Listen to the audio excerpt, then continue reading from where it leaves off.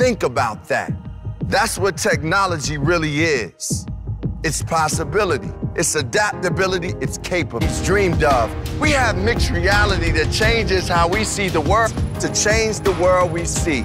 You have more power at your fingertips than in time. So here's the question.